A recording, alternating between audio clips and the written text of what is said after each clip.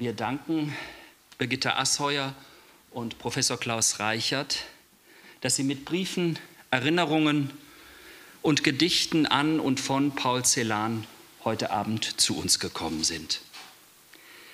Klaus Reichert, man muss es eigentlich nicht sagen, aber ich sage es nochmal für die, auch für die Jungen, die das vielleicht doch alles noch nicht wissen, was er alles getan hat. Man kann es gar nicht auflisten, aber ein kurzer Einblick, wie auch unten in der Ausstellung. Klaus Reichert studierte Philosophie und Sprachen in Marburg, London, Gießen und Frankfurt am Main und danach arbeitete er als Lektor, Übersetzer und Herausgeber moderner und klassischer Autoren, unter anderem der Joyce-Ausgabe des Surkamp Verlags. Er ist emeritierter Professor für Anglistik und Amerikanistik in Frankfurt am Main und von 2002 bis 2011 war er Präsident der Deutschen Akademie für Sprache und Dichtung in Darmstadt. Klaus Reichert lebt und arbeitet ganz in der Nähe des Holzhausen-Schlösschens, wenige Straßen weiter. Heute hören wir von einem ganz jungen Klaus Reichert, der mit 17 Jahren zum ersten Mal Celan-Gedichte las und der mit 19 Jahren bei Celan in Paris klingelte und nicht nur Celan antraf, sondern auch Hermann und Hanne Lenz. Und nicht nur das, sondern auch die Musik hörte und auch gleich erkannte. Aber ich will nicht zu viel verraten, denn wir werden heute ja aus diesem Buch hören, aus den Begegnungen mit Klaus Celan und mit Paul Celan. Genau. Also mit Paul Celan und Klaus Reichert. Birgitte Asheuer ist Sprecherin für Radio und Fernsehen und arbeitet seit vielen Jahren für die Sender der ARD, das ZDF, Dreisat, Arte und ORF. Als Erzählstimme hört man sie in Kinoproduktionen und TV-Dokumentationen. Für Hörbuchverlage liest sie Lyrik, Kurzgeschichten und Romane bekannter Autorinnen und Autoren. Darüber hinaus tritt sie bei Literaturfestivals, Lesungen und Konzerten auf. Im Holzhausen-Schlösschen las Birgitta Asheuer zuletzt eine Auswahl aus dem Werk Ilse Eichingers. Und sie ist regelmäßig bei uns in der Reihe Salon Kontrovers, Briefe schreiben und lesen, die von Hanne Kolesser konzipiert wird, zu hören und zu sehen. Wenn solche Abende wie heute, die für uns sehr wertvolle Abende hier im Holzhausen-Schlösschen und in Frankfurt sind, da haben wir uns etwas einfallen lassen bei dem Umbau des Holzhausen-Schlösschens, dass wir gesagt haben, wir möchten, wenn es da auch etwas zu sehen gibt, zum Beispiel interessante Handschriften, aber auch interessante Dinge, die um den Abend herum vielleicht einen kleinen weiteren Einblick geben könnten, da haben wir uns etwas einfallen lassen und ich danke da auch Klaus Reichert sehr, sehr herzlich, dass wir diese Dinge vorbereiten durften. Und so kann man eine kleine Ausstellung, einen kleinen Einblick in die Briefe, aber auch in das Denken und Arbeiten von Klaus Reichert und seinem Autor Paul Celan unten in den Vitrinen nachspüren. Diese kleine Ausstellung ist vom 11. Mai bis 30. Juni unten zu sehen. Lassen Sie mich Ihnen ohne Umschweife sagen, wie glücklich ich darüber bin, Sie als festen Punkt in der Richtung zu wissen, in der meine Arbeiten das Zentrale Zentralste in meinem Leben, sich zu bewegen versuchen, sie dort zu wissen als angesprochenen, immer ansprechbaren und immer erwidernden und mit ihnen ihre Frau. Das können wir in dem Buch, das 2020 wahrscheinlich das letzte, was zu Paul Celan von einem Zeitzeugen aufgeschrieben wurde, lesen. Und dafür möchte ich schon an dieser Stelle dass es dieses Buch gibt, sehr herzlich danken.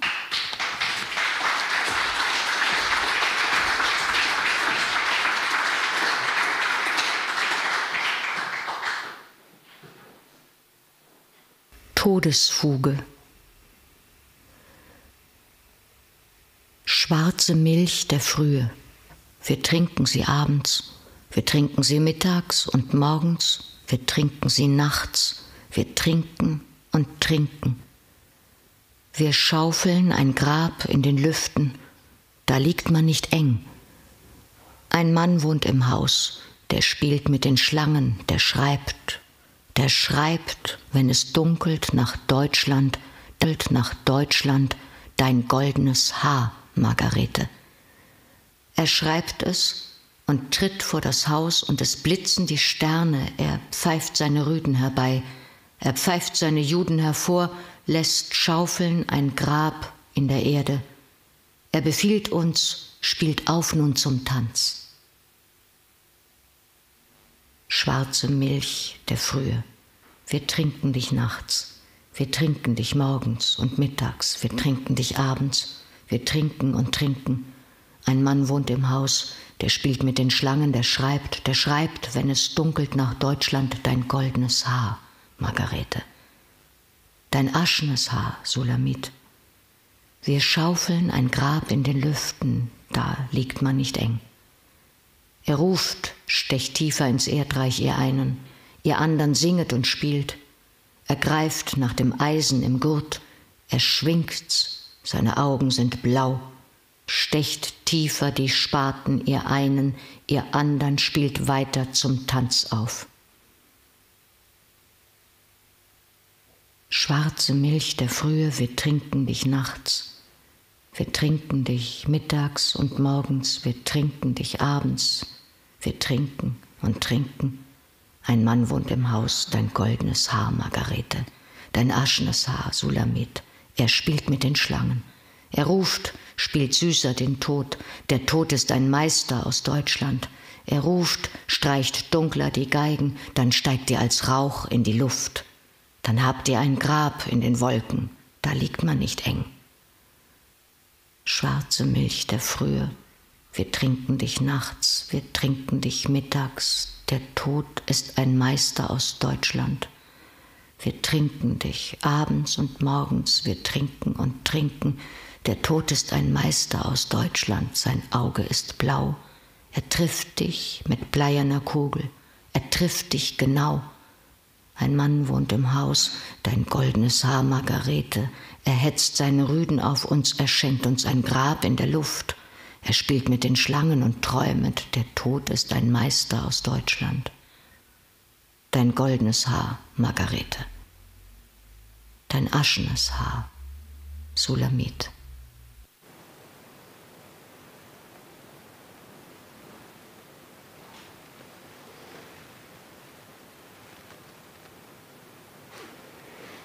Ich weiß nicht, ob Sie alle die Todesfuge kennen. Das ist das berühmteste Gedicht, was Celan geschrieben hat äh, und das in sämtliche Sprachen der Welt übersetzt worden ist inzwischen, mit Ausnahme des Jiddischen.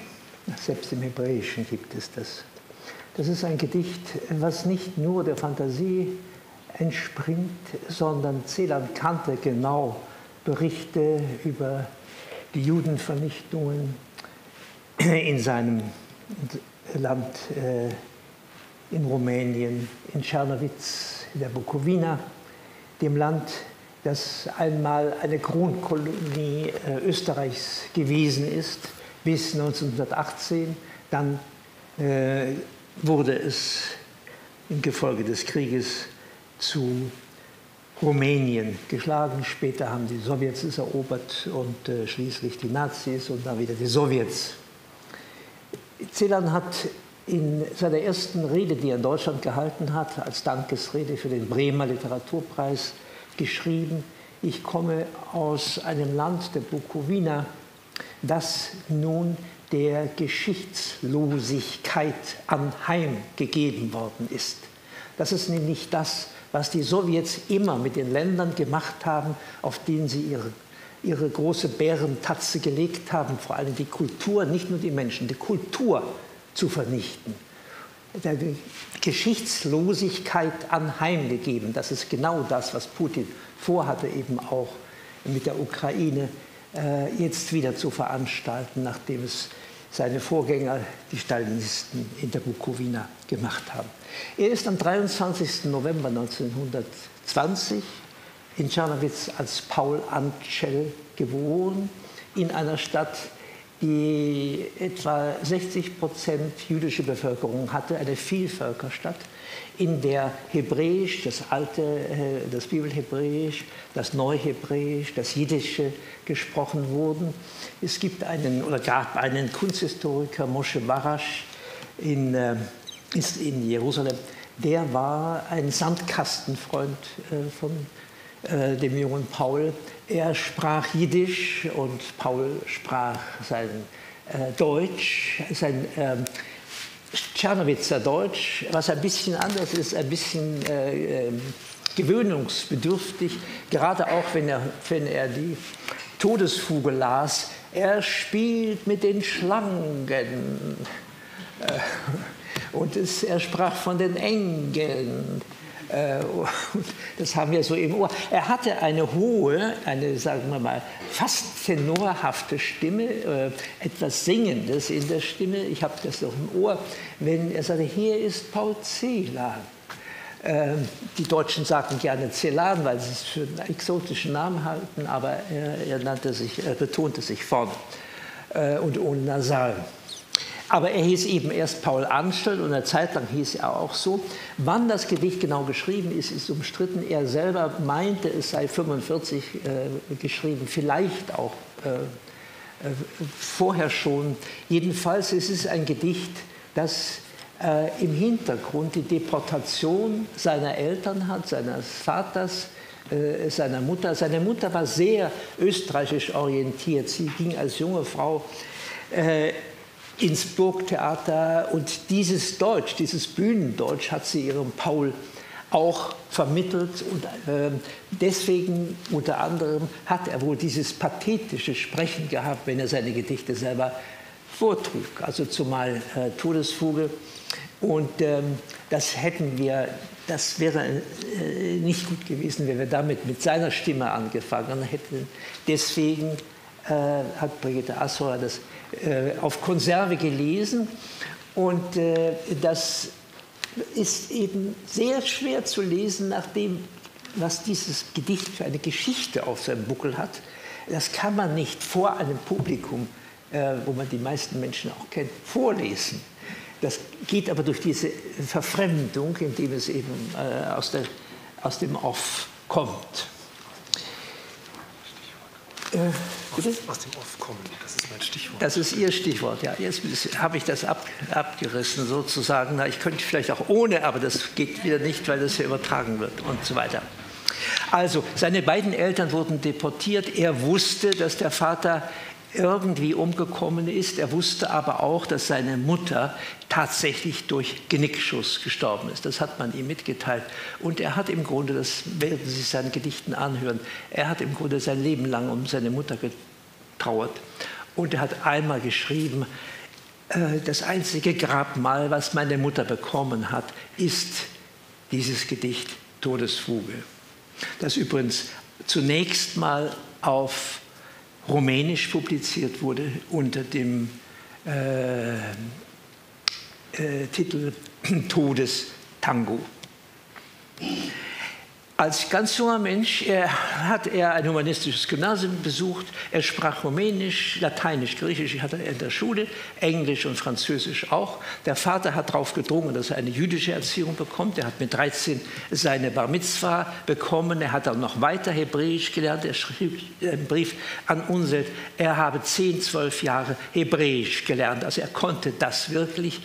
Und äh, ich glaube, dass viele der Schwierigkeiten seiner Sprache sich daraus ableitet, ab, äh, ableiten, dass er hebräische Wortbildungen versucht hat zu bilden. Ich werde ganz am Ende des heutigen Abends auf eine solche Wortbildung kommen, denn mit, mit hebräischen Wörtern können Sie grammatisch alles machen. Das geht nur auch im Ungarischen in anderen Sprachen nicht. Als wir von der Akademie mal in, Budapest waren, haben wir erfahren, dass man nur auf Ungarisch eigentlich dichten kann. Ich habe dann einen Menschen gefragt, der Ungar ist, äh, nämlich äh, Ivan Nagel, den berühmten Theatermann, der ist ja Ungar von Hause aus gewesen. Und der überlegte, ich sagte, Ivan, stimmt das, dass man nur auf Ungarisch dichten kann? Sagt er spontan ja. Und dann vielleicht noch auf Englisch. Also, äh, äh, Celan aber konnte, konnte kein Ungarisch, aber umso besser äh, eben das Hebräische und Russisch hat er eben auch gelernt. Er eben noch, äh, äh, als er Rumäne war, ist er 1938, 39 nach, nach, durch Deutschland gefahren, um in Tours Medizin zu studieren und hat auch das Grundstudium dort geschafft. In einem späten Gedicht heißt es, über Krakau bist du gekommen, am Anhalter Bahnhof floss deinen Blicken ein Rauch zu, der war schon von morgen. Er war einen Tag vor der sogenannten Kristallnacht in, am Anhalter Bahnhof in Berlin. Nicht? Und das hat in dem späten Gedicht hat das noch nachgewirkt. Äh, er hat als ganz junger Mensch angefangen zu übersetzen, eben aus dem Englischen, zum Beispiel Shakespeares Sonette, die später dann 21 Sonette in der Inselbücherei erschienen sind, aus dem Russischen, aus dem Französischen. Er, musste, er war nicht im KZ, aber er musste in ein Arbeitslager gehen und äh, da und auch äh, davor schon sind äh, frühe Gedichte entstanden. Eines der Lager, der rumänischen Lager, hieß Tabarescht.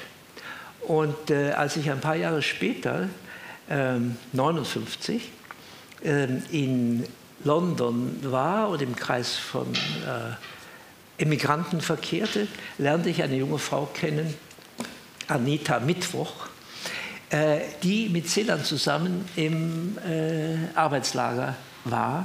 Sie hatte ein schöner, Jüngling, aber sehr unnahbar. Wir wussten, er schreibt Gedichte, aber er hat uns keine gezeigt. Und äh, er, hat, er konnte zu Hause noch wohnen, äh, musste aber täglich dann ins, ins, äh, nach Tabarecht ins Lager kommen und dort Straßenbau betreiben. Wenn Sie seine Gedichte lesen, ist sehr häufig von Graben, Graben, Graben äh, die Rede. Und äh, das hat natürlich nicht nur mit den Gräbern zu tun, sondern die auch vorkommen ähm, Todesfuge, sondern eben auch mit dem Straßenbau. Äh, und äh, ein Gedicht werden wir gleich hören, das in Tabarischt im Lager geschrieben worden ist. Und das, äh, ich wollte das gerne haben, weil äh, es aus dieser Zeit stammt. Aber wir hören zunächst mal ein, ein ganz frühes Gedicht, das heißt Drüben. Erst jenseits der Kastanien ist die Welt. Wenn man äh, in Tschernowitz aus dem Fenster, äh, lebten zur Ebene Erde, gesprungen ist in den Hof, äh, da war ein großer Hof davor, wo Holz abgelagert wurde, der Vater war Holzhändler, äh, und diese, dieser Hof war begrenzt äh, von Kastanien. Es kann da ein autobiografisches Gedicht sei, wie so vieles von ihm autobiografisch war. Und es hat Märchentöne, es äh, verrät seine Verbundenheit mit der deutschen Romantik, könnte man schon sagen, mit dem deutschen Märchenhintergrund, mit äh, des Knaben Wunderhorn und so weiter. Bitte, Birgitta. Drüben, erst jenseits der Kastanien ist die Welt.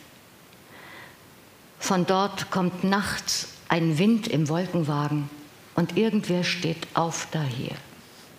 Den will er über die Kastanien tragen. Bei mir ist Engel süß und roter Fingerhut bei mir. Erst jenseits der Kastanien ist die Welt. Dann zirp ich leise, wie es Heimchen tun, dann halt ich ihn, dann muss er sich verwehren, ihm legt mein Ruf sich ums Gelenk. Den Wind höre ich in vielen Nächten wiederkehren. Bei mir flammt Ferne, bei dir ist es eng. Dann zirpe ich leise, wie es Heimchen tun.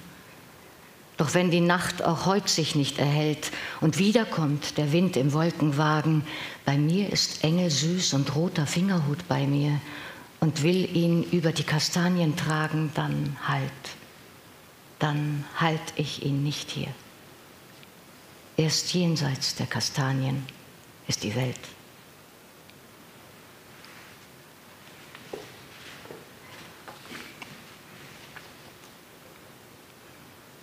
Mohn. Die Nacht mit fremden Feuern zu versehen, die unterwerfen, was in Sternen schlug, darf meine Sehnsucht als ein Brand bestehen, der neunmal weht aus deinem runden Krug. Du musst der Pracht des heißen Monds vertrauen, der stolz verschwendet, was der Sommer bot und lebt, dass er am Bogen deiner Brauen errät, ob deine Seele träumt im Rot. Er fürchtet nur, wenn seine Flammen fallen, weil ihn der Hauch der Gärten seltsam schreckt, dass er dem Aug der süßesten von allen sein Herz, das schwarz von Schwermut ist, entdeckt. Es ist eben im Lager entstanden, Tabarischt.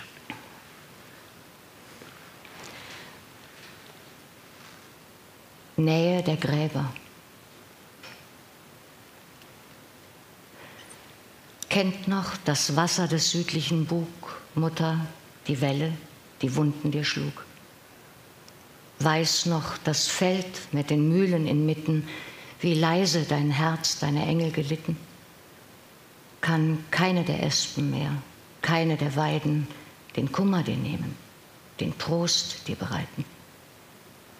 Und steigt nicht der Gott mit dem knospenden Stab den Hügel hinan und den Hügel hinab. Und duldest du, Mutter, wie einst, ach, daheim, den leisen, den deutschen, den schmerzlichen Reim?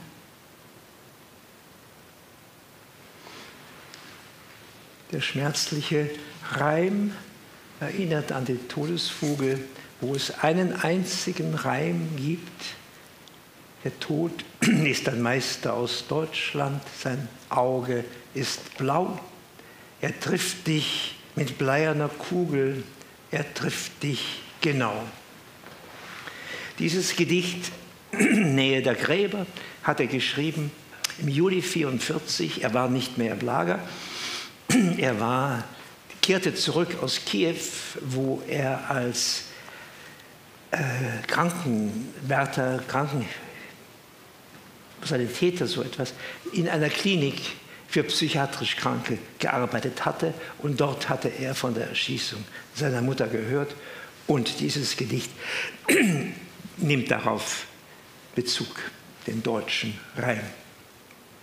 Von April 45 bis November ging er nach Budapest, äh, nach Bukarest, Entschuldigung, und arbeitete dort als Lektor und Übersetzer aus dem Russischen ins, äh, ins Rumänische. Eine seiner ersten Arbeiten war eine Übersetzung des Romans Ein Held unserer Zeit aus dem Russischen, aus dem 19. Jahrhundert, von Lermontov aus dem Russischen ins Rumänische. Er hatte dort Freunde, dichtende Freunde, die meistens Deutsch schrieben.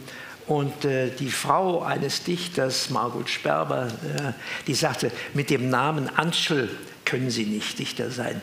Also das drehen wir doch mal rum, äh, machen ein Anagramm daraus. Und dann kam Zähl an daraus. Also das ist die Umkehr von Anschel. Das A-N-C-E-L oder Tsch-E-L äh, kann man das schreiben. Also das Rumänische hat insofern äh, der Aufenthalt in Bukarest hatte auch äh, den, äh, das Schöne, dass er gelernt hat, wie er sich künftig nennen soll. 1957 ist er geflüchtet über die grüne Grenze aus Bukarest, weil er die Angst hatte, das Land, Land, war ja inzwischen sowjetisch geworden, nachdem die Nazis verjagt, besiegt worden waren, Gott sei Dank.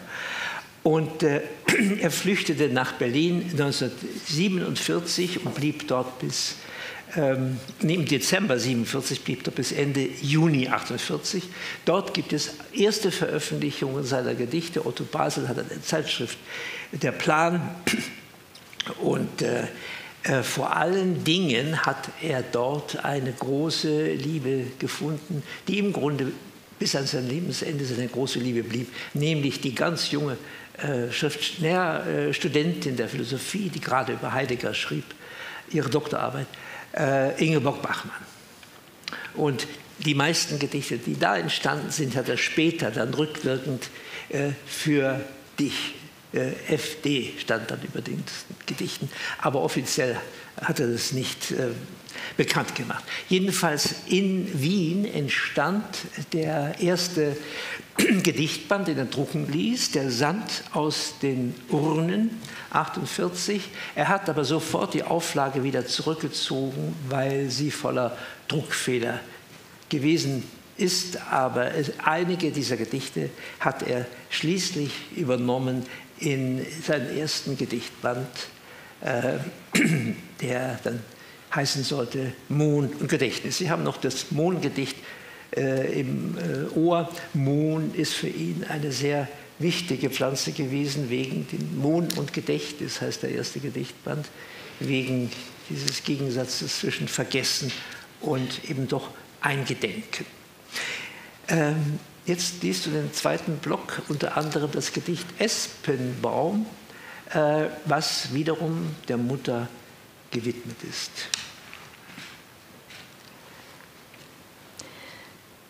Espenbaum, dein Laub blickt weiß ins Dunkel. Meiner Mutter Haar ward nimmer weiß. Löwenzahn, so grün ist die Ukraine. Meine blonde Mutter kam nicht heim. Regenwolke säumst du an den Brunnen, meine leise Mutter weint für alle. Runder Stern, du schlingst die goldene Schleife, meiner Mutter Herz ward wund von Blei. Eichne Tür, wer hob dich aus den Angeln? Meine sanfte Mutter kann nicht kommen.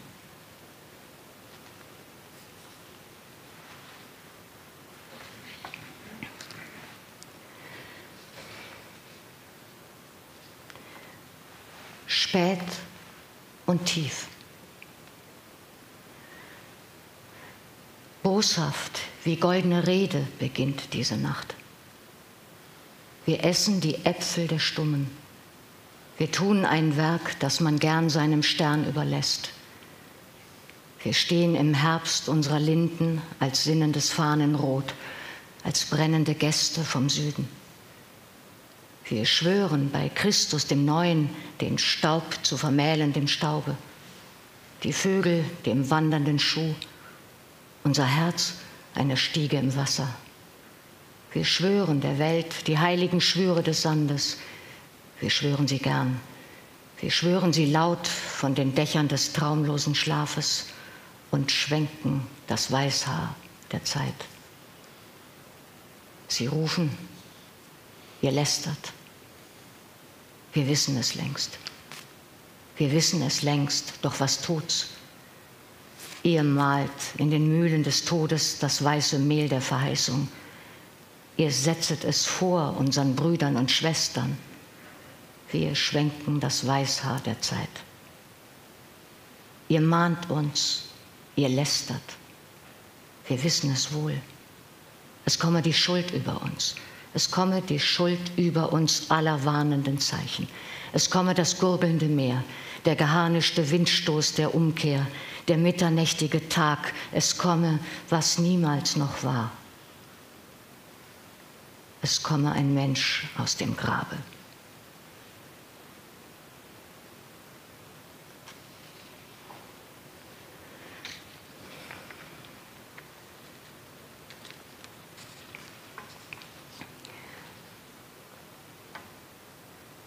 Corona. Aus der Hand frisst der Herbst mir sein Blatt. Wir sind Freunde. Wir schälen die Zeit aus den Nüssen und leeren sie gehen. Die Zeit kehrt zurück in die Schale. Im Spiegel ist Sonntag, im Traum wird geschlafen, der Mund redet wahr.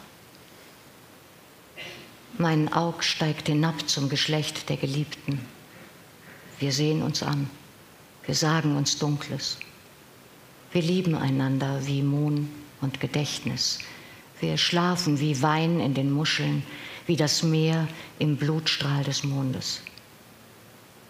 Wir stehen umschlungen im Fenster, sie sehen uns zu von der Straße.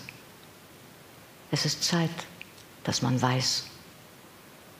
Es ist Zeit, dass der Stein sich zu blühen bequemt, dass der Unrast ein Herz schlägt. Es ist Zeit, dass es Zeit wird. Es ist Zeit. Das ist das erste Liebesgedicht, was er für Ingeborg Bachmann geschrieben hat. Er hat es ihr ein Jahr später zum Geburtstag im Juni geschenkt mit einem wunderbaren Brief. Er schicke ihr hiermit das Gedicht und eben einen Arm voll Mond und einen ebensolchen Arm voller Gedächtnis.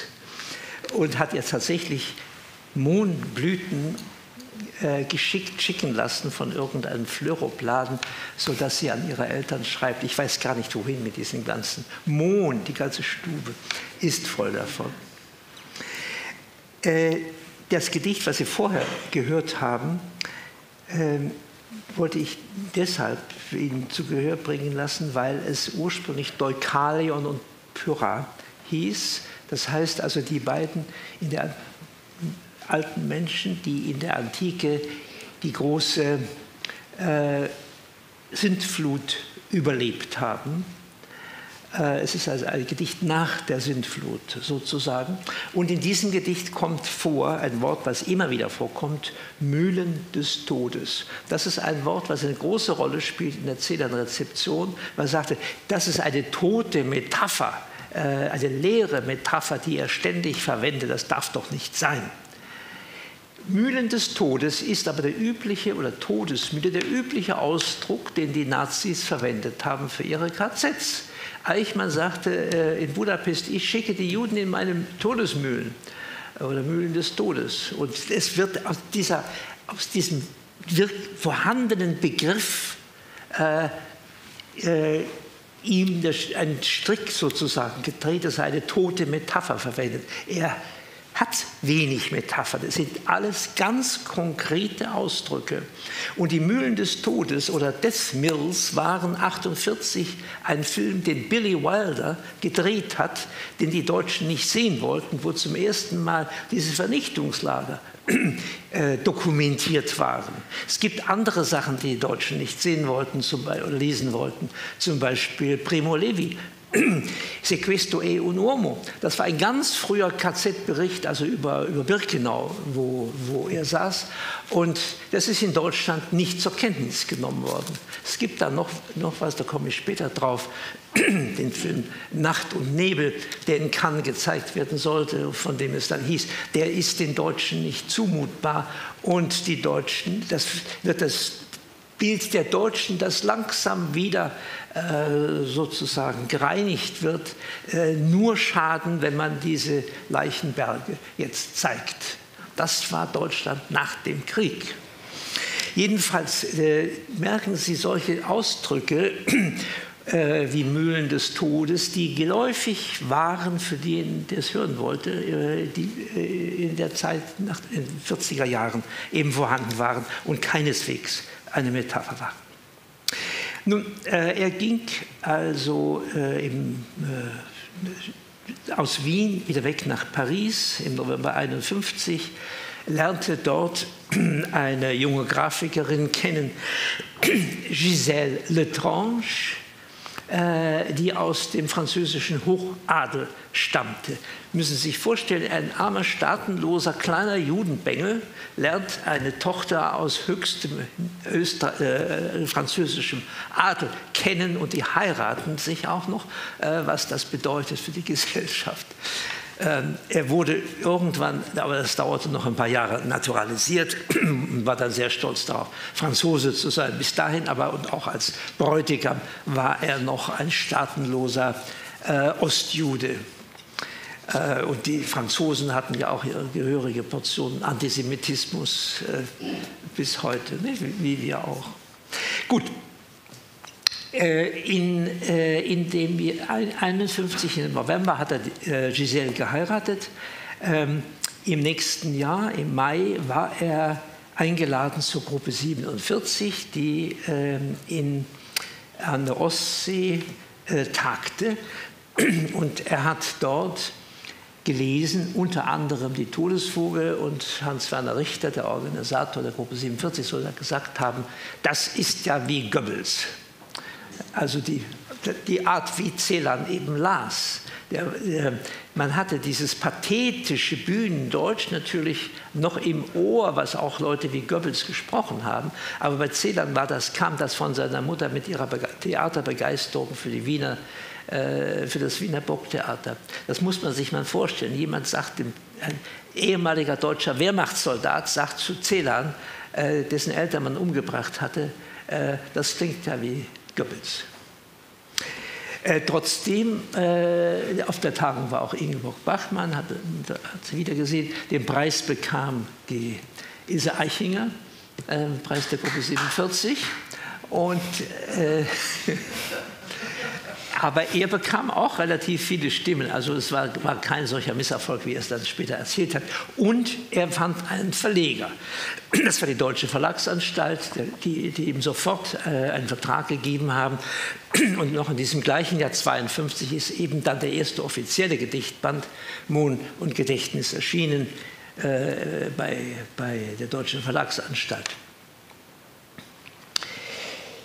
Äh, aus diesem Band werden wir noch zwei Gedichte hören und dann gehen wir, gehen wir weiter, nämlich Die Krüge, Klaus Demus gewidmet. Das war ein früher Freund, bis zuletzt ein Freund von ihm.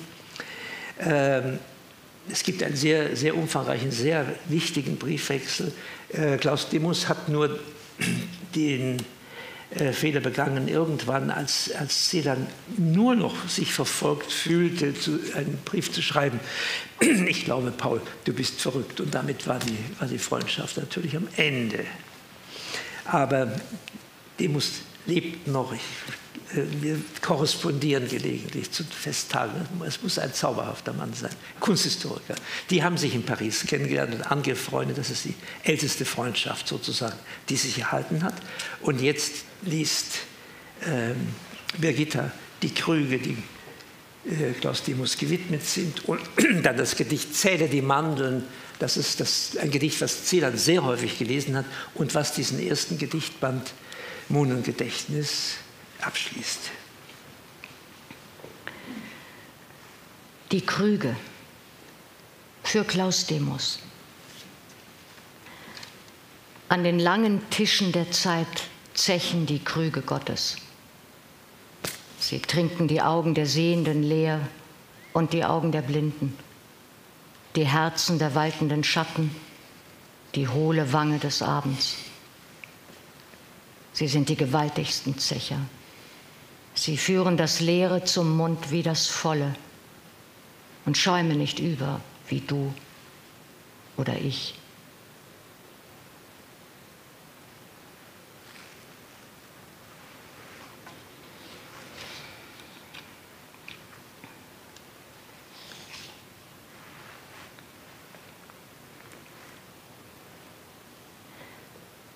Zähle die Mandeln Zähle, was bitter war und ich wach hielt. Zähl mich dazu.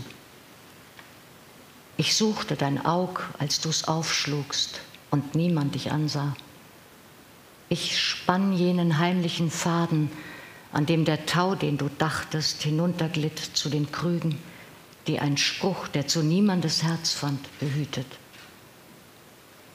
Dort erst tratest du ganz in den Namen, der dein ist. Schrittest du sicheren Fußes zu dir, schwangen die Hämmer frei im Glockenstuhl deines Schweigens, stieß das Erlauschte zu dir, legte das Tote den Arm auch um dich. Und ihr ginget dritt durch den Abend. Mache mich bitter, zähle mich zu den Mandeln.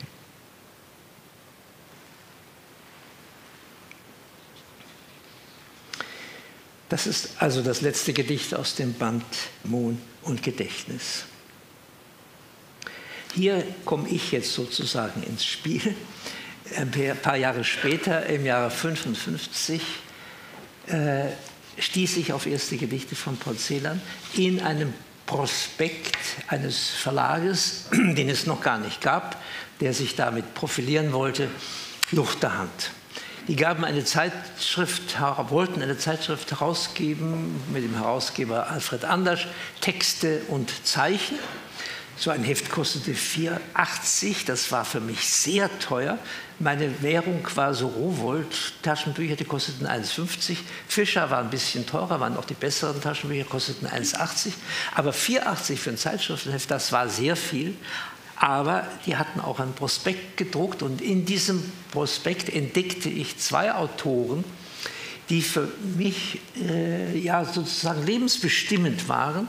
Das eine war ein Mann, äh, so nennt, so heißt man nicht als Autor, äh, der hieß Arno Schmidt. Ich meine, das ist, äh, wer, wer Schmidt heißt, kann es nicht sehr weit bringen, obwohl wir ja auch einen Kanzler hatten, der so hieß.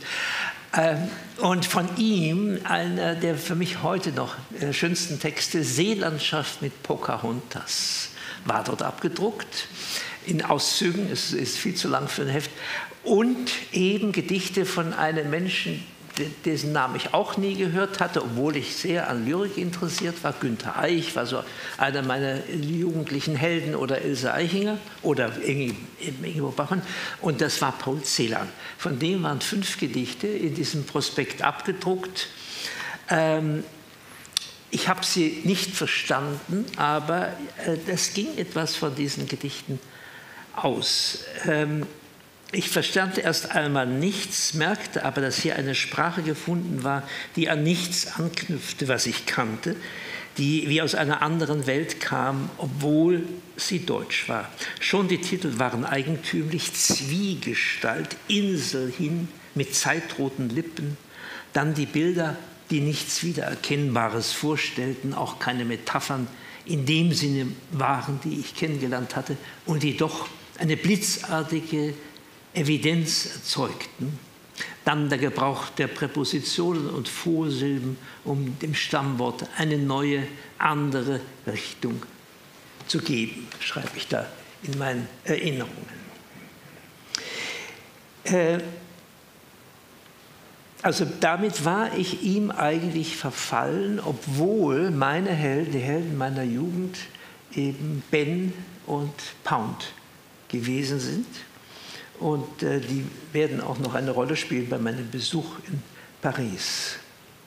Der neue Gedichtband, äh, in dem diese Gedichte standen, erschien äh, dann unter dem Titel Von Schwelle zu Schwelle 1955. Äh, und darin ist ein Gedicht, sprich auch du, darüber werde ich gleich noch reden, aber wir hören erst einmal ein paar Gedichte aus diesem Band. Das ist der äh, neunte Gedichtblock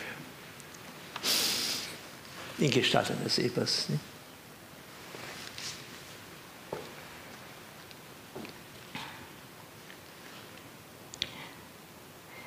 In Gestalt eines Ebers. In Gestalt eines Ebers stampft dein Traum durch die Wälder am Rande des Abends. Blitzend weiß wie das Eis, aus dem er hervorbrach, sind seine Hauer. Eine bittere Nuss wühlt er hervor unterm Laub, das sein Schatten den Bäumen entriss. Eine Nuss, schwarz, wie das Herz, das dein Fuß vor sich her stieß, als du selber hier schrittst. Er spießt sie auf und erfüllt das Gehölz mit grunzendem Schicksal. Dann treibt's ihn hinunter zur Küste, dorthin, wo das Meer seiner Feste Finsterstes gibt auf den Klippen. Vielleicht, dass eine Frucht wie die seine das feiernde Auge entzückt, das solche Steine geweint hat.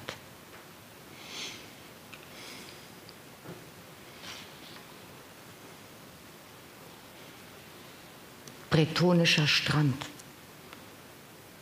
Versammelt ist, was wir sahen zum Abschied von dir und von mir das Meer, das uns Nächte an Land warf, der Sand, der sie mit uns durchflogen, das rostrote Heidekraut droben, darin die Welt uns geschah.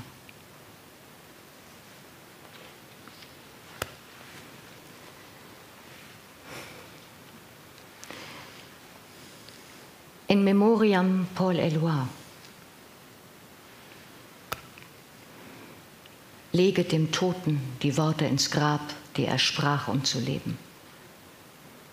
Bette sein Haupt zwischen sie, lass ihn fühlen, die Zungen der Sehnsucht, die Zangen. Leg auf die Lieder des Toten das Wort, das er jenem verweigert, der du zu ihm sagte das Wort, an dem das Blut seines Herzens vorbeisprang, als eine Hand so nackt wie die seine, jenen, der du zu ihm sagte, in die Bäume der Zukunft knüpfte. Leg ihm dies Wort auf die Lider. Vielleicht tritt in sein Aug, das noch blau ist, eine zweite, fremdere Bläue. Und jener, der du zu ihm sagte, träumt mit ihm. Wir.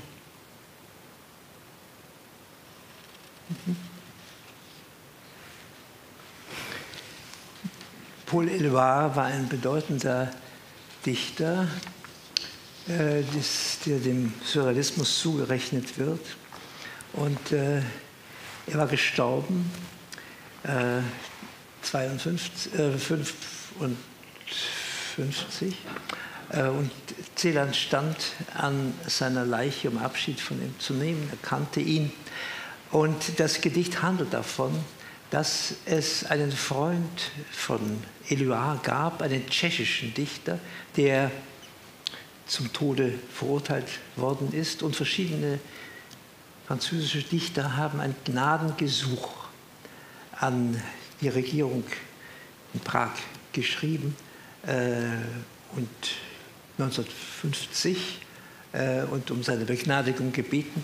Und Breton hat Eluard um seine Unterschrift dieses, für diesen Freund, diesen engen Freund von Eluard äh, gebeten und er hat die Unterschrift verweigert.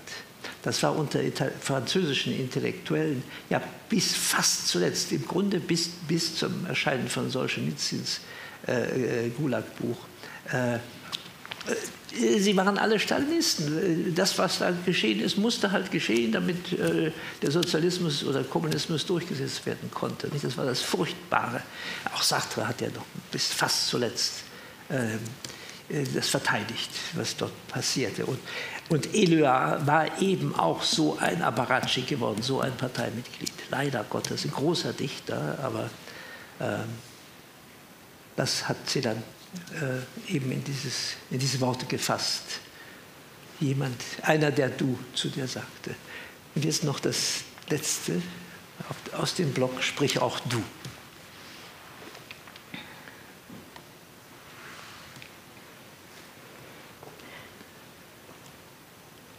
Sprich auch du.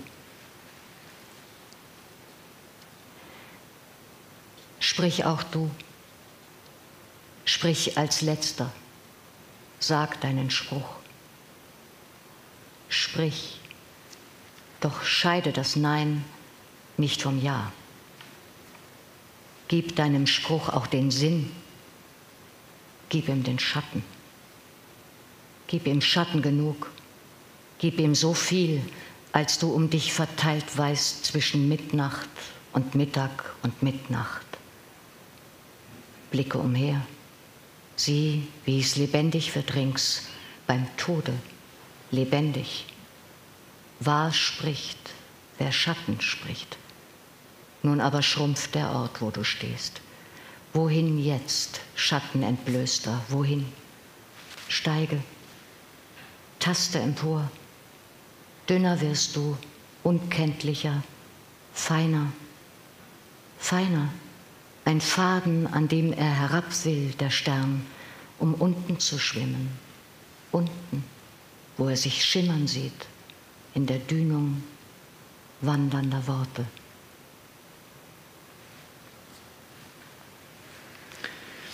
Das Wichtige an diesem Gedicht für mich ist einerseits, dass ich als letzter Jahr geschrieben habe.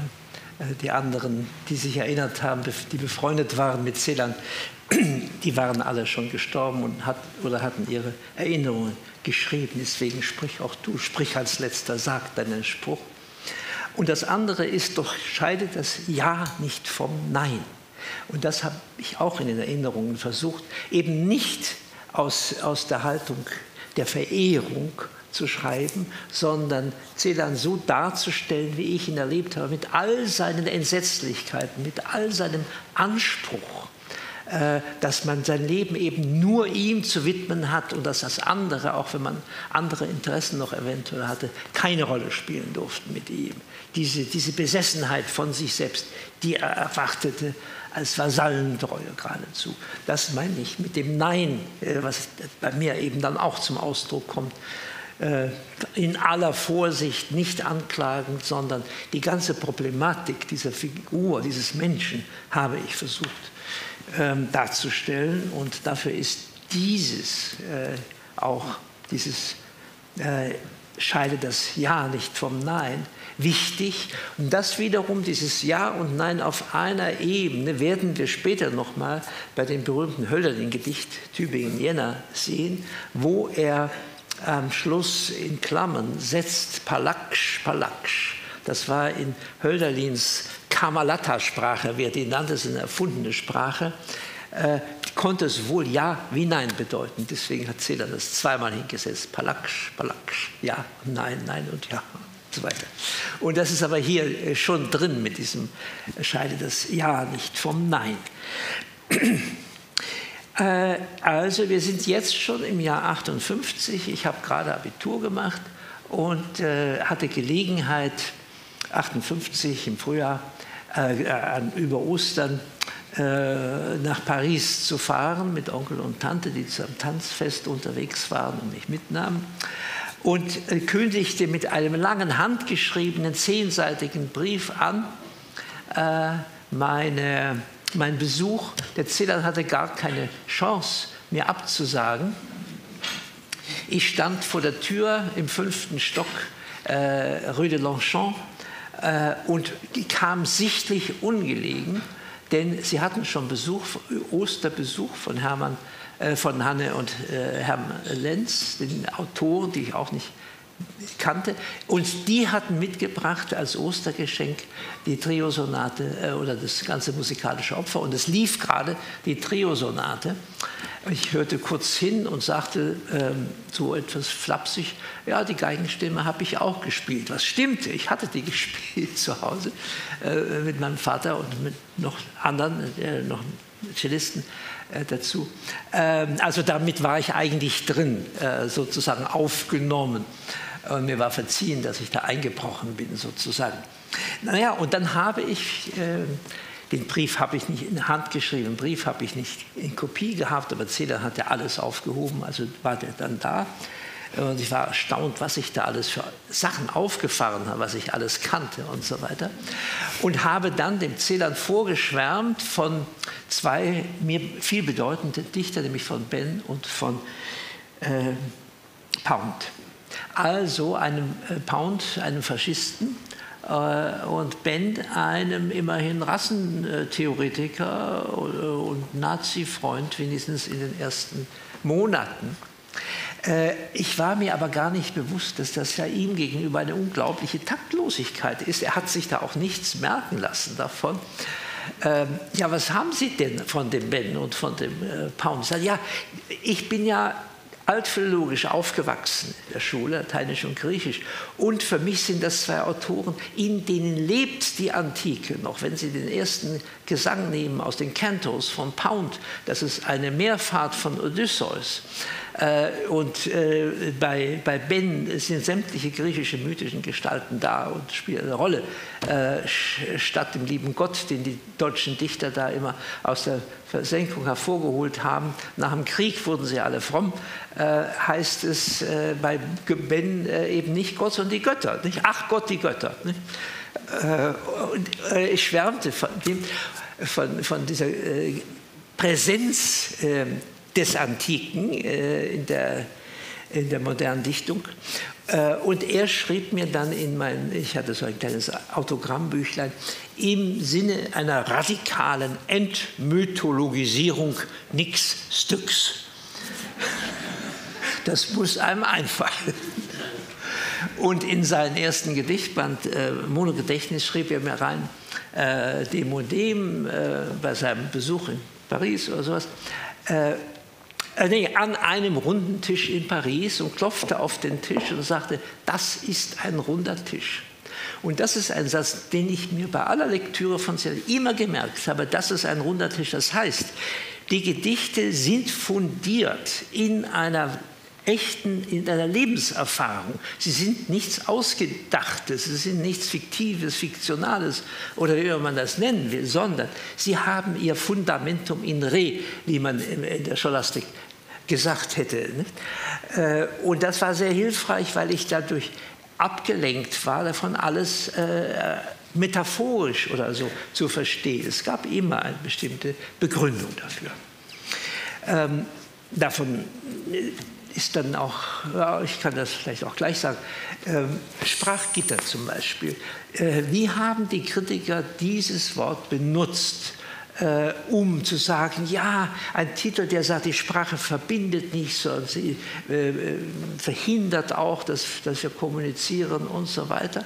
Und der Erzähler sagt also, es, warum muss man das als eine Metapher nehmen für, äh, für Sprachschwierigkeiten oder für das für Nichtverbindende von Sprache?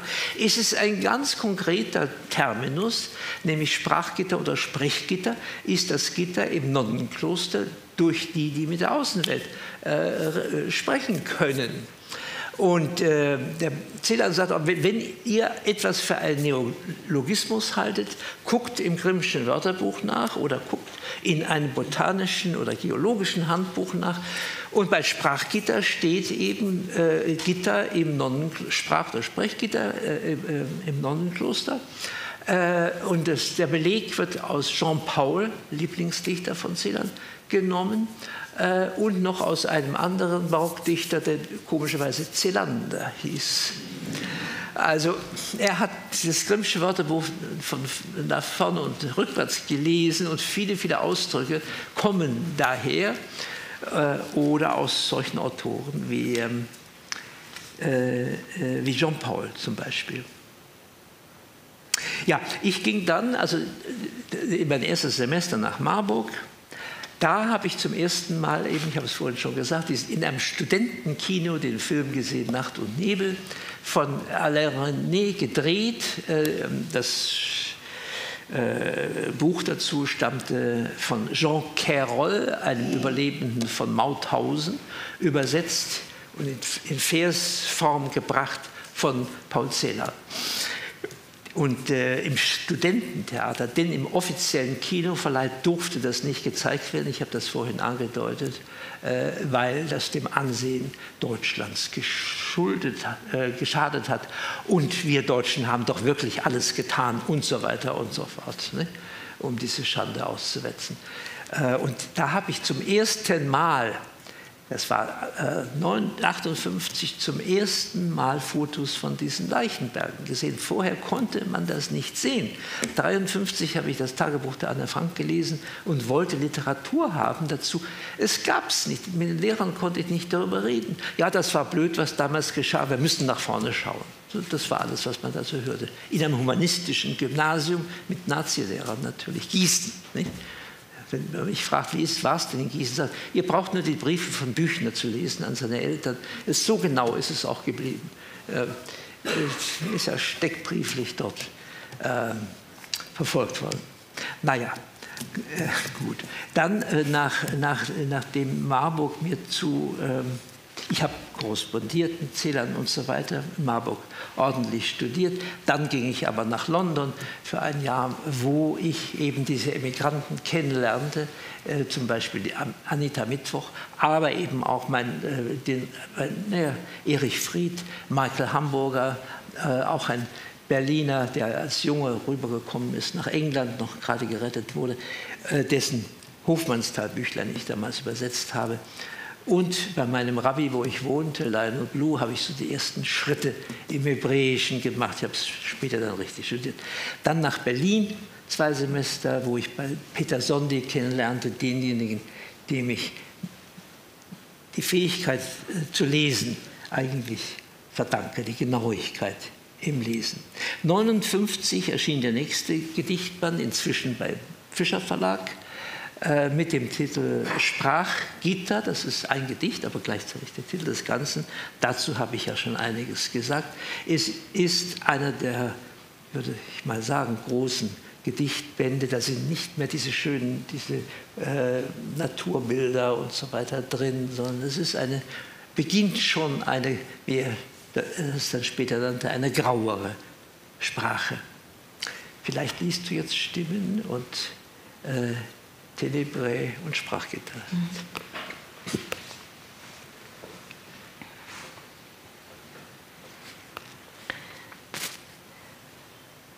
Stimmen ins Grün der Wasserfläche geritzt.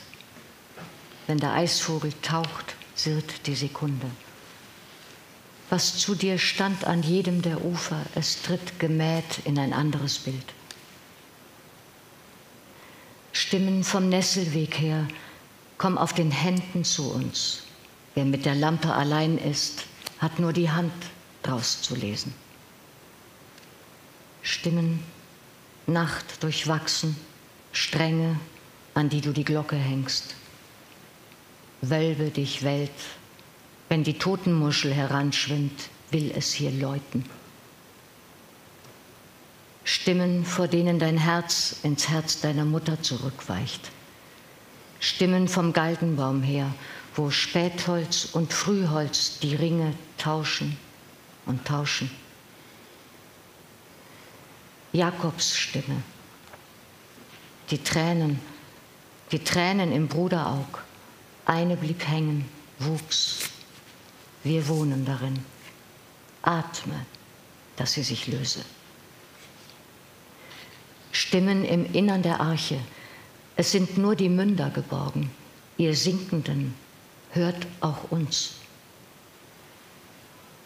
Keine Stimme, ein Spätgeräusch, stundenfremd, deinen Gedanken geschenkt, hier endlich herbeigewacht, ein Fruchtblatt, augengroß, tief geritzt, es harzt, will nicht vernarben.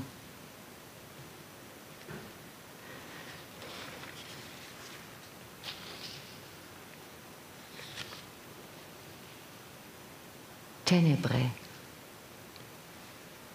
Nah sind wir, Herr, nah und greifbar. Gegriffen schon, Herr, ineinander verkrallt, als wäre der Leib eines jeden von uns dein Leib, Herr. Bete, Herr, bete zu uns, wir sind nah. Windschief gingen wir hin, gingen wir hin, uns zu bücken nach Mulde und Maar. Zur Tränke gingen wir, Herr. Es war Blut, es war, was du vergossen, Herr. Es glänzte. Es warf uns dein Bild in die Augen, Herr. Augen und Mund stehen so offen und leer, Herr. Wir haben getrunken, Herr, das Blut und das Bild, das im Blut war, Herr. Bete, Herr. Wir sind nah.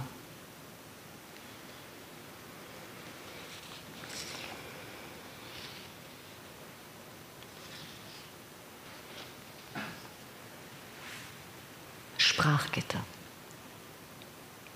Augen rund zwischen den Stäben.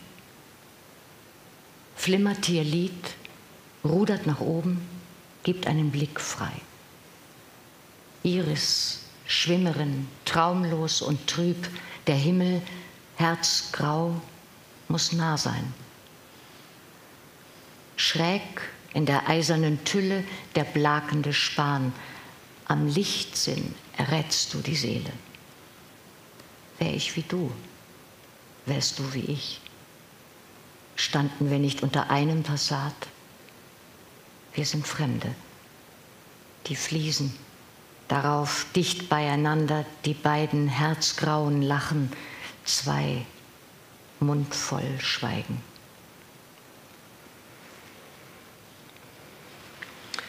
Ich will nur ein paar Sachen zu Tenebrae sagen. Das ist immer verstanden worden äh, von der Oster- oder Karfreitagsliturgie her Ähm, aber man kann es auch anders lesen. Am Anfang in der zweiten Strophe steht ja äh, von ineinander verkrallt. Das sind die Menschen in den Todeszellen. Und äh, ich habe mich immer gewundert, warum man das als christliches Gedicht gelesen hat. Denn das Judentum ist ja, ist ja keine Religion, es ist eine, ein, ein, ein Bündnis, was, man, was zwischen Gott und den Menschen geschlossen worden ist. Die Menschen haben sich danach zu halten, aber Gott eben auch. Der hat seine Verpflichtungen einzuhalten gegenüber den Menschen. Dieses Bete, Herr, wir sind nah, ist die Anrede an diesen jüdischen Gott, der sich, wieso hast du das zugelassen und so weiter. Wir kommen nachher bei dem äh, Nelly Sachs Gedicht noch einmal darauf. Das kann man eben ganz anders lesen, zumal wenn es aus der, Kassette, aus der Todeserfahrung äh, heraus geschrieben worden ist. Aus diesem äh, großen Band Sprachgitter wollen wir noch vielleicht zwei Gedichte hören. Äh, das eine Köln am Hof und dann Bahndämme noch.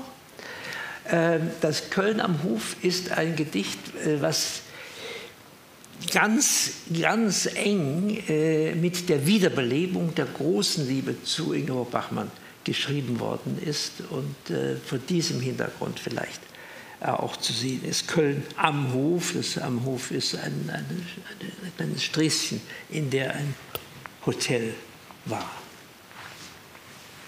Ein ganz kurzes Gedicht. Köln am Hof.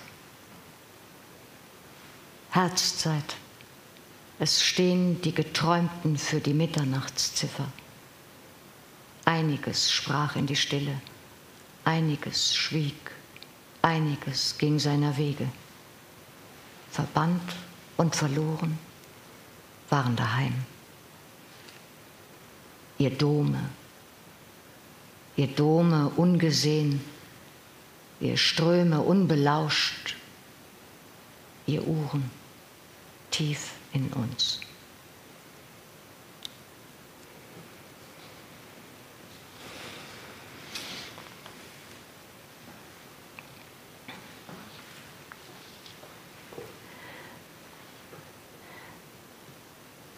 Bahndämme, Wegränder, Ödplätze, Schutt.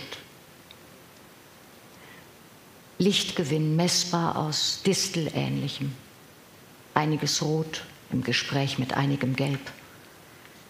Die Luftschleier vor deinem verzweifelten Aug, das letzte reitende Sandkorn. Die Augärten damals, das gelächelte Wort vom Marchfeld, vom Steppengras dort, das tote Ringelspiel, Kling, wir drehten uns weiter.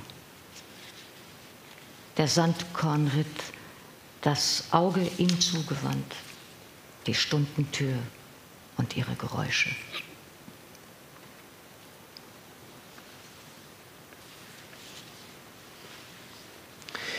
Bahndämme, Wegränder, Ödplätze, Schutt ist der Titel dieses Gedichtes gewesen. Das ist die Überschrift in einem Buch äh, Was blüht denn da? Äh, Celan hat war ein großer Botaniker und hat, hat, solche Bücher immer mit sich getragen. Aber wenn Sie den Titel so hören, so klingt das ja wirklich poetisch. Er konnte aus allem, so wie Midas, was Midas anfasste, und zu, wurde alles zu Gold, so wurde alles zu Poesie. In den ganz späten Gedichten können Sie das Gedicht genau verfolgen, wenn Sie ein bestimmtes medizinisches äh, äh, ähm, Handbuch zur, äh, zu äh, konsultieren. Nicht? Äh, tief im Aortenbogen, da erfahren Sie alles, äh, äh, was in dem, aber es ist zu einem Gedicht gemacht worden, das ist das Fantastische bei ihm. Nun, äh, im Jahr drei, nein, 61 kam ich aus Berlin nach Frankfurt, Sondi hatte gesagt, Sie müssen jetzt bei Adorno weiter studieren. Ne? So kam ich also nach Frankfurt und wurde dann relativ bald Lektor, habe mein Studium sein lassen. Genies brauchen kein Examen äh, und wir alle hatten kein Examen bei Sokam und Insel oder fast alle. Äh, äh, und dachte, naja, die Chance gibt es nur einmal, in den Verlag zu kommen. Äh, 64, wie gesagt. Im, äh, im September 65 äh, klingelte auf einmal das Telefon. Hier ist Paul Celan. Äh, können wir uns bei Ihnen privat sehen? Äh, Dr. Unselt hat mir ein Angebot gemacht, äh, zu Sorkam zu kommen. Celan war bei Fischer mit Sprachgitter und mit folgenden Band Die Niemandsrose. Aber, das habe ich jetzt weggelassen, weil das so uferlos wurde, die sogenannte Goll-Affäre spielte da eine große Rolle. Ivan Goll war ein, ein, ein Schriftsteller und äh, ein Lyriker, den der Celan schätzte und kurz vor seinem Tod, drei Monate vor seinem Tod noch kennenlernte. Und äh, die Witwe Goll, Claire Goll, hat dann herausgesteckt, er, Celan, hätte ihren Mann bestohlen, hätte aus dem Nachlass Sachen genommen. Man, äh, man, konnte nachweisen, dass sie selber den Nachlass gefälscht hat aufgrund dieses frühen Gedichtbandes, der Sand aus den Urnen, der in Wien noch erschienen war und den er wenigen geretteten Exemplaren den Golds geschenkt hatte und so weiter. Das ist eine ganz, ganz widerwärtige Geschichte gewesen, die Celan auch äh, ja, sicherlich an der Zerrüttung, an der geistigen Zerrüttung eine Rolle spielte für ihn und zu seinen verschiedenen äh, Krankenhausaufenthalten ja, führten. Das will ich auch nicht preistreten hier. Äh, und der Zillan hatte eben gehofft oder erwartet, dass der Fischer Verlag offen eine einen Prozess gegen die Witwe Goll führt. Und der Fischer sagt, da wird die Sache nur nochmal äh, äh, eine größere Glocke gehängt. Sie brauchen doch keine Angst zu haben. Sie sind ein großer Dichter. Sie müssen sich doch vor der Dichterwitwe nicht fürchten. Ähm, äh, das nimmt ihnen nichts von, von ihrem Ruhm. Aber Celan war so empfindlich, dass er das eben nicht akzeptiert hat. Ähm, wer immer von seinen Freunden sich für ihn eingesetzt hat, hat es damit ihm verdorben, weil er sich nicht genau genug mit äh, ihnen raus, also immer nur gesagt hat, äh, das ist die Fälschung stimmt nicht und so weiter, statt zu sagen, das ist ein ganz großer Dichter aus den und den Gründen und äh, die, solche äh, Verleumdung dürften keine Rolle spielen. Es war sehr schwierig, ihn zu verteidigen. Jedenfalls, als Unselt ihm ein Angebot machte, dachte er, äh, gut, auf die Weise komme ich dann los äh, von Fischer und mal sehen. Jedenfalls, er wollte, es war in Frankfurt im, im Fischer Verlag, um an, der, an einer Michaud, Henri Michaud-Ausgabe zu arbeiten, die er, von, die er herausgab, ähm, auch zum Teil übersetzte. Und er kam also an, ich wohnte hier nicht weit äh, in einem kleinen Sträßchen, das heißt Eiserne Hand. Äh, die ist an der Hebelstraße, also unten runter, äh, wenn Sie die Eckenheimer runterfahren, äh, neben der Haltestelle Musterschule geht das, geht das kleine Sträßchen ab. Und da wohnte ich in einer Verlagswohnung zusammen meine, mit meiner Schwester, die im ersten Semester Kunstgeschichte hier in Frankfurt studiert hat. Also er kam an, und äh, äh, wir haben, äh, er hatte Vorbehalte gegen Surkamp, weil er dachte, die Lektoren sind alles Kommunisten oder äh, linke Leute habe ich gesagt, ja, das sind alles Linksintellektuelle, die lesen Marx, Marx Frühschriften und die lesen die Frühsozialisten, aber äh, das, das, das, sind keine, das sind keine Idioten, das sind keine KPD-Leute und so weiter, aber äh, sie haben doch Grund, sich aufzuregen angesichts einer Gesellschaft, in der die Juristerei immer noch besetzt ist mit alten Nazirichtern. Wir waren alle empört über die Urteile äh, des Ausschussprozesses. Der Ausschuss war sehr wichtig für uns, aber die vielen Freisprüche äh, und geringe, geringste Strafen, die geringsten, die man überhaupt finden konnte. Und damit, da war, da, zu der Zeit war ja auch noch äh, Mord verjährt. Nicht? Das fanden wir empörend und haben natürlich in der Edition so viele politische äh, Titel veröffentlicht. Und ich sagte ihm, Sie waren ja selber in Ihrer Jugend ein Sozialist und ein Anarchist. Sie schreiben von, äh, vom, von Kropotkin, Sie schreiben von Bakunin, äh, Sie haben den und jenen und so weiter geschätzt. Äh, und außerdem, so kam, ist ja schließlich der Verlag von Brecht und von Benjamin, von Adorno, von Sondi und so weiter. Das hat ihn dann etwas überzeugt. Äh, am Ende sagte er dann, gut, ich bleibe, äh, ich, ich, komme zu unter, unter der Bedingung, dass Sie mein Lektor werden. Wir haben viel über das Übersetzen gesprochen, das kann ich jetzt alles gar nicht erzählen. Das könnte ich im Privatissimum, aber ich muss ja auch, nein, ich muss ja wir müssen ja Schluss machen, nicht? eigentlich. Äh, Herr Grebe, nein, Sie, Sie schütteln den Kopf, gut.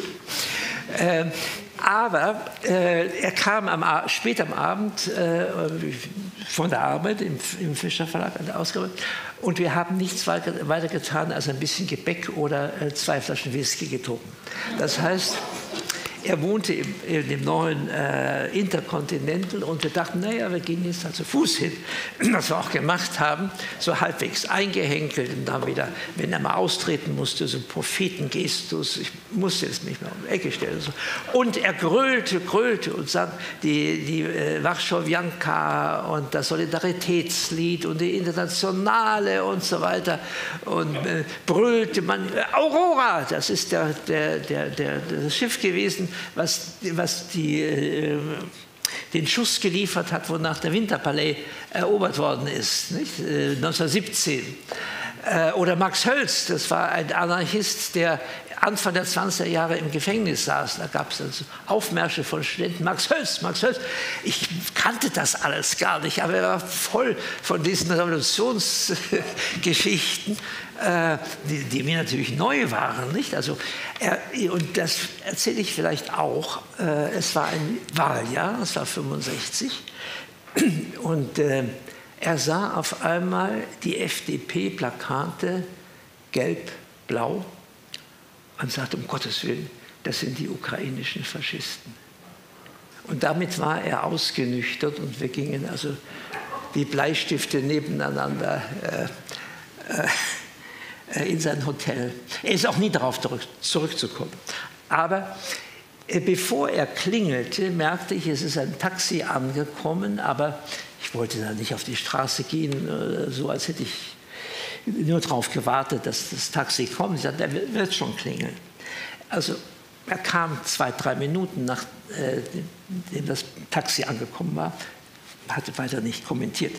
Später sagte er, in meinem neuen Gedichtband, das war der zweite, den ich mit ihm gemacht habe, äh, Fadensonnen, steht ein Gedicht, äh, Frankfurt, September. Das ist meine Abrechnung mit dem Fischer Verlag und das habe ich vor ihrer Tür geschrieben, als ich aus dem Taxi stieg. Das Interessante daran ist, also ich habe das nicht verstanden, Abrechnung, obwohl auf dem Gedicht, in dem Gedicht konnte man sehen, dass er da eine Fotowand im Fischer Verlag gesehen hatte, wo Freud drauf war und Kafka drauf war und solche. Ne? Aber wieso Abrechnung? Er hat das Gedicht einen Tag später noch einmal bearbeitet und hat zwischen Frankfurt und September den hebräischen Buchstaben Ayin eingefügt. Was sollte der. Ich kannte natürlich ein, ich wusste, das ist ein Kehlkopfverschlusslaut, aber was sollte das? Und die Herausgeberin der gesammelten Gedichte hat mich gefragt, können Sie damit was anfangen? Und da habe ich, wie man jiddisch sagt, geklärt und geklärt. Und da fiel mir ein, es gibt einen Psalm, der ist angeordnet nach den Buchstaben des hebräischen Alphabetes. Ähm, also acht Zeilen, die nur mit Aleph, äh, auf Aleph gereimt sind und dann auf Bet, auf Gimel, da und so weiter. Da habe ich unter Aye nachgeguckt und das ist tatsächlich ein Paragraph, ein, ein Psalmenteil, 119, können Sie heute Abend nachlesen in Ihren Bibeln. Und da steht, Sie verfolgen und verlästern mich. Also durch die Einfügung dieses Kehlkopfverschlusslautes, den er dann im Druck wieder gestrichen hat, aber das letzte Wort des Gedichts heißt, der Kehlkopfverschlusslaut singt, wie man einen Psalm singt. Aber der kann gar nicht singen, der Kehlkopfverschluss, das ist ein Ö. Und man, die Talmudisten sagen, äh, nein, die, die Kabbalisten sagen, Gott hat zur Schöpfung nur das, das Aleph ist nämlich auch ein Kehlkopfverschluss, nur das Ö gesprochen und daraufhin ist seine ganze Schöpfung erfolgt. Naja, und das Beet wird, ist ja wieder geöffnete Klammer. Also rechts vom Bett kann nur das Alpha stehen, äh, Aleph stehen und äh, dann kommt das Beet und was hinter Beet steht, das ist alles Genesis und Exodus und Levitikus und so weiter und so fort. Ach Gott, ja, jetzt rede ich wieder ähm, viel zu viel. Ähm, also es gibt diesen vierten Gedichtband noch, äh, Niemands Rose. Wollen wir da noch ein paar Gedichte draus lesen vielleicht? Oder ist das, ist das zumutbar? Ja? Also, ähm, bei Wein und Verlorenheit und äh, zurück zum Storchen.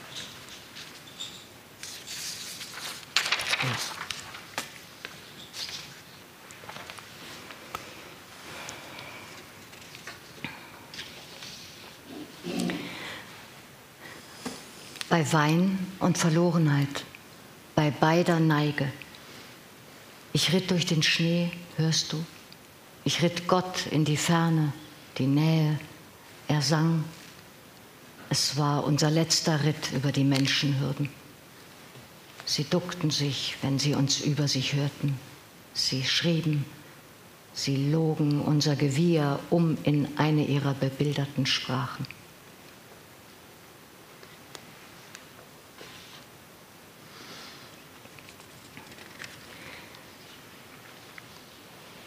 Zürich zum Storchen für Nelly Sachs. Vom zu viel war die Rede, vom zu wenig, von du und aber du, von der Trübung durch Helles, von jüdischem, von deinem Gott. Davon. Am Tag einer Himmelfahrt, das Münster stand drüben, es kam mit einigem Gold übers Wasser. Von deinem Gott war die Rede, ich sprach gegen ihn, ich ließ das Herz, das ich hatte, hoffen auf sein höchstes, umröcheltes, sein haderndes Wort. Dein Aug sah mir zu, sah hinweg, dein Mund sprach sich dem Aug zu. Ich hörte, wir wissen ja nicht, weißt du, wir wissen ja nicht, was gilt. Das ist ein großes Gedicht. Zurück zum Storchen heißt, sie beide wohnten in dem wunderbaren Hotel zum Storchen an der Limmat. Ist, auch da haben, sehen Sie das, das, das, Wasser, das leuchtet in der Sonne, ein Himmelfahrtstag, schönstes Wetter. Und ähm, so eine so typische Wende, dieses weißt du, äh, wir wissen ja nicht, weißt du, was gilt. Äh, das sind so im Gespräch auch solche Formen die er immer wieder äh, gebraucht hat. Nelly Sachs, eine Überlebende, die in Schweden überlebt hat, äh, Wono des Todes, berühmte Gedichte. Und sie waren sehr eng befreundet. Meine Schwester hatte sie genannt. Äh, und, äh, aber das war auch belastet, weil sie sagte, so wie ich gelitten habe, sie wurde dann sehr krank, so wie ich gelitten habe, haben nicht einmal die Leute in, den, in Auschwitz gelitten. Und das konnte Zähler natürlich nicht verkraften, solche, solche Vergleiche. Äh, wir haben noch vielleicht nur das Hölderlin-Gedicht, das, das, sollte wichtig sein. Aber ich will etwas zum Jahr 68 sagen. 68 war ja das Jahr der Studentenrevolte. Ähm, Celan kam strahlend nach Frankfurt. L'imagination au pouvoir, äh, also die Fantasie an die Macht, das sowas freute ihn, also den Aufstand, den die Studenten gemacht haben. So kam er äh, mit frohen Botschaften nach Frankfurt. Aber er war sehr schnell ernüchtert, als er merkte, wie die KPF, die Kommunistische Partei Frankreichs, wie die alten Stalinisten, wie die Sozialisten, wie die Gewerkschaften, so schnell die Studenten dann auf ihre äh, instrumentalisieren wollten, sodass dieser große Aufbruch äh, dann äh, mehr oder weniger versandete. Es gab da einen, äh, der hieß Daniel Rouge, äh, den haben die Franzosen rausgeschmissen, äh, ihm, ihm glaube ich auch die Staatsbürgerschaft aberkannt. Jedenfalls, der kam da nach Frankfurt, den kennen Sie ja alle, äh, Cohn-Bendit, äh, und der brachte so den französischen Geist mit in die deutsche Dumpfheit der Theoriediskussionen nicht? und mischt das deutsche studentische Publikum ein bisschen auf. Und tut das, ist ja bis heute noch eine sehr erfrischende Gestalt mit seinen zwischen 80 oder so etwas. Also jedenfalls Celan war, war begeistert davon und ich erinnere mich an einen Abend bei Unselt, wo ein alter deutscher Professor, Ordinarius, äh, sich beklagt über diese Studenten und sagt, das ist ja wie 33 äh, und äh, der, äh, sprengen die Vorlesungen und so weiter. Und er sagte, die jungen Leute heute, die wissen noch nicht, was sie wollen. Sie wissen nur, dass das, was es ist, in der hiesigen deutschen Juristerei und so weiter, ist nicht das, äh, äh, was richtig ist das, oder wie man darauf reagierte, auf die Studentenproteste. Das waren ja alles, die sind von drüben geschickt und solche Sachen, diese Diffamierung gegen die Studenten. Aber, sagte Zedek, die damals, diese, diese Nazi-Horden, die wussten genau, was sie wollten. Nicht? Und so hat er das unterschieden. Also er war ein politisch ganz, ganz wacher Mensch. Äh, allerdings wurde er, las er nur die FAZ und äh, die, und die äh, Spiegel. Äh, und seine Freundin, die äh, Germanistin äh, Gisa Dischner, die las auch die Frankfurter Rundschau und hat ihm dann erzählt, was in der Frankfurter Rundschau steht und was, nicht, was er nicht mitkriegt, wenn er nur die FAZ liest. Friedeburg nannte damals die FAZ ein Kampfblatt. Die war sehr rechtslastig. Das, also wie gesagt, 68, nicht? das ist, ist ja vorbei. Wie man das Klima, das politische Klima angeheizt hat damals. Gut, da könnte ich jetzt ganz viel noch sagen, will es aber gar nicht tun, sondern noch liest du doch bitte noch äh, Tübingen-Jena und dann äh, kommen wir zum Schluss. Wobei ich sage mal Tübingen-Jena. Äh, wieso Jänner? Da kann er auch Januar schreiben. Äh, das Jänner ist für ihn ein, ein wichtiger, äh, wichtiges Wort. Das kommt einerseits äh, aus dem Lenz von Büchner. Den 20. Jänner ging Lenz durchs Gebirg. Äh, nur war es ihm manchmal unangenehm, dass er nicht auf dem Kopf gehen konnte. Celan in seiner Büchnerpreisrede schreibt dazu, wer auf dem Kopf geht, meine Damen und Herren, der hat den Himmel als Abgrund zu Füßen.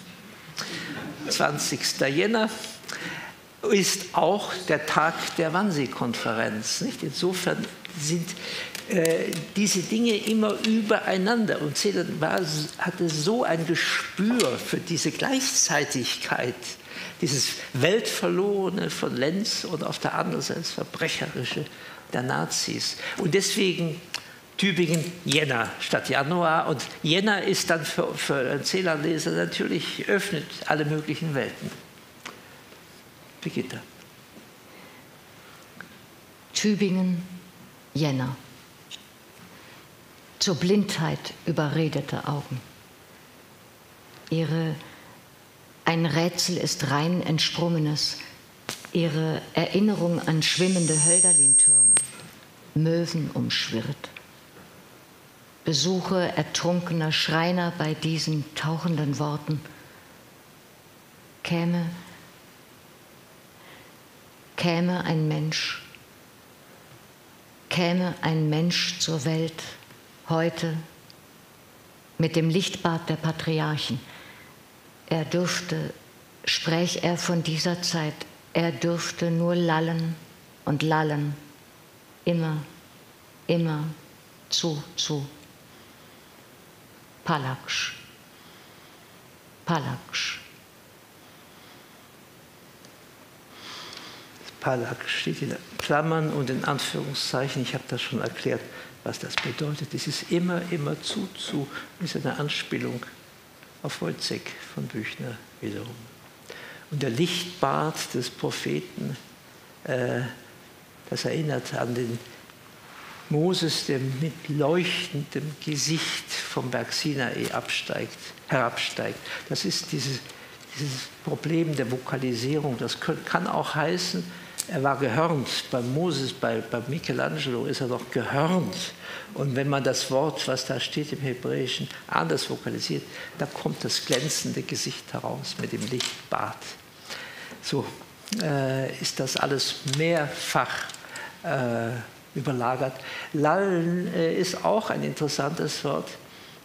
Ich habe äh, mal im Neuen Testament nachgeguckt und das Wort Lallein, woher unser Lallen kommt, heißt, das ist immer das Wort für sprechen, wenn Jesus spricht. Also das kann man auch mal, dem kann man auch mal nachgehen, ob das noch eine andere Spur ist. Man findet ja immer, man kann Zellern nicht interpretieren, oder ich habe es mir abgewöhnt zu interpretieren, das war ja früher mal mein Beruf, sondern man kann nur sagen, das und das könnte das und das sein, könnte eine Spur sein, die da und da hinführt. Ansonsten müssen wir es stehen lassen, wie es ist und eben ein botanisches, ein geologisches, ein kristallographisches Wörterbuch konsultieren oder eben den guten alten Grimm oder immer wieder Jean-Paul lesen. Das führt uns sehr weit. Gut, damit machen wir jetzt Schluss mit einem Gedicht, was jetzt Ihnen mal an die Wand projiziert wird. Das ist das letzte Gedicht von ähm, dem Band Atemwende. Äh, was Atemwende war der Band den ich mit Celan gemacht habe. Liest, liest du es vielleicht vor mal? Oder soll, ja. Einmal, da hörte ich ihn, da wusch er die Welt, ungesehen, nachtlang, wirklich. Eins und unendlich, vernichtet Ichten. Licht war. Rettung.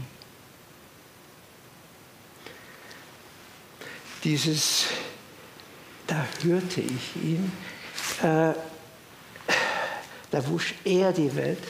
Das ist erst in den Fahnen in kleine Buchstaben korrigiert worden. Das hieß erst ihn mit großem E, E mit großem E. Ähm, das war die, die Bibelübersetzung von Buber und Rosenzweig, äh, wo für Gott immer das Er, also wir haben dann der Herr oder so etwas und bei Buber Rosenzweig steht Er und ihn mit Großbuchstaben, das hat er dann aber getilgt. Äh, und ähm, da hörte ich ihn, Gott, den hebräischen Gott hört man nur, der, der lässt sich nicht sehen, der ist nur zu hören. Nicht? Also die Stimme aus dem Dornbusch zum Beispiel. Und das Eins und Unendlich, das ist sehr, Eins ist Aleph und so weiter und Unendlich, äh, da kann man viel dazu sagen, sage ich Ihnen jetzt nicht, das, das äh, können Sie nachlesen bei mir, äh, vernichtet Ichten. Was ist Ichten? Was heißt das? Ja, das ist, heißt eigentlich Nichten und das N ist weggefallen. Das heißt Dichten, das D ist weggefallen.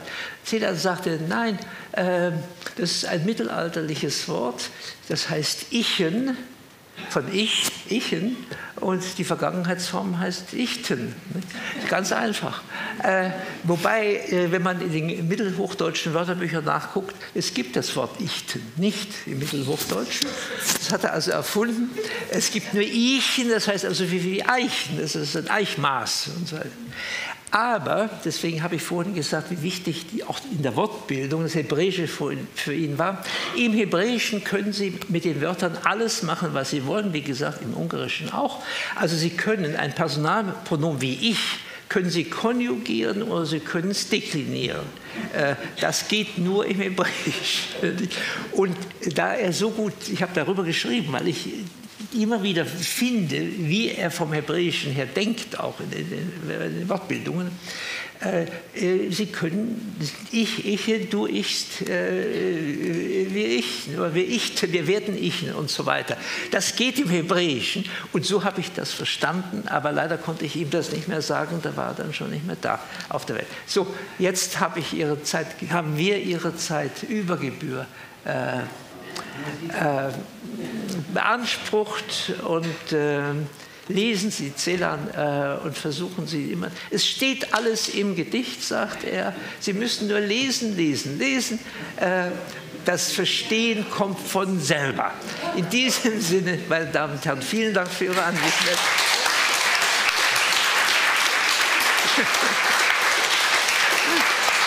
Oh,